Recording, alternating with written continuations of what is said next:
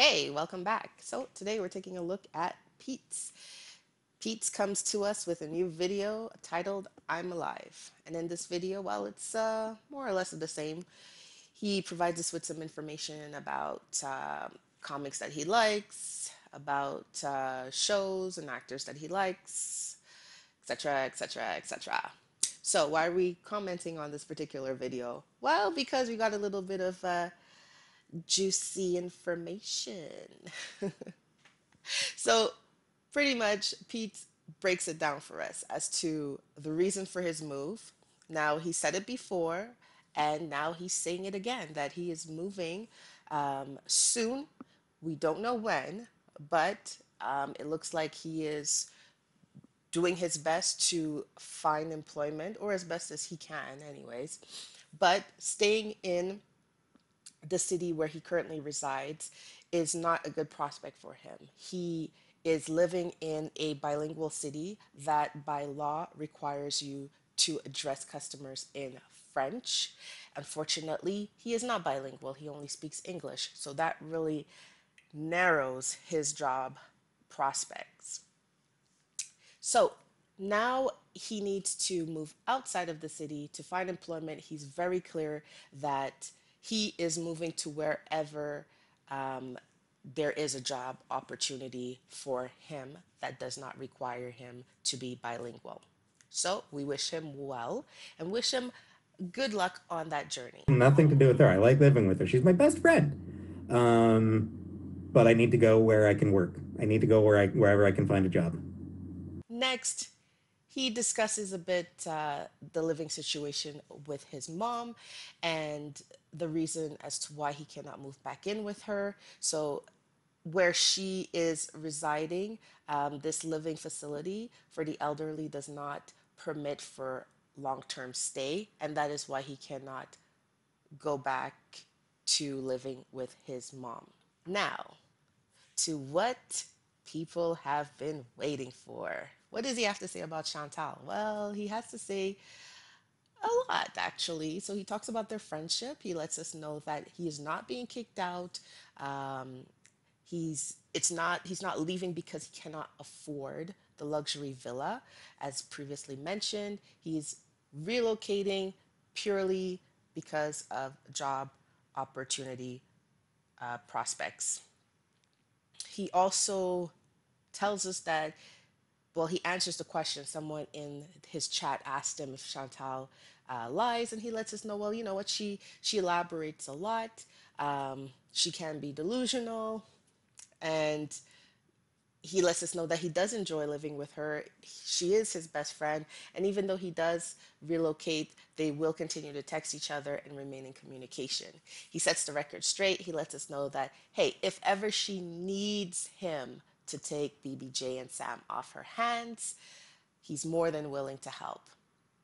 He lets us know that he does not like Nader and that he is not scared of Nader and he cannot wait for this relationship between Nader and Chantal to end. He is sick and tired of this new love interest of hers. He finds him to be incredibly uh, selfish, uh, controlling, and he just doesn't like him.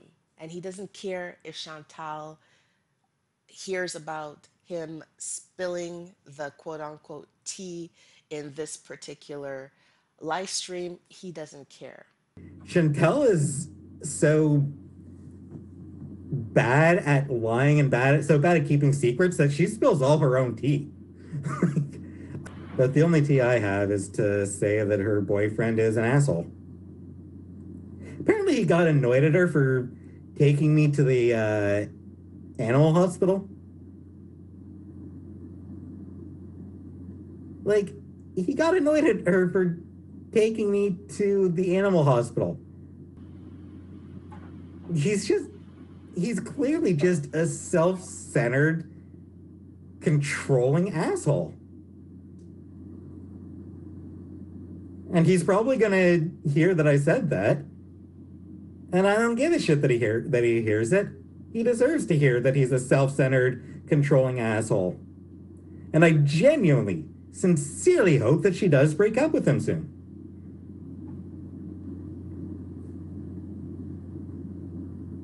Careful for my safety. I'm not scared of him. He's using her. Yep. Yep, he is. And uh, I'm pretty sure Chantal's not ha- not. I'm pretty sure Chantel won't be happy uh, that I said all this shit about him. I honestly don't give a shit. like, it needs to be said. Thank you, MG. He also lets us know that, hey, if ever it doesn't work out and he's moved away and that relationship between Chantal and Nader is officially over, she's more than welcome to come and have a stay on his couch. Wow, Pete, you're a noble man. You truly are a noble man. Do I tell her how I feel? Yes. Chantal knows how I feel about the situation. Um, and I've told her that, uh, thank you, Nikki. I, and I have told her that if she ever wises up and breaks up with him, uh, she can sleep on my couch.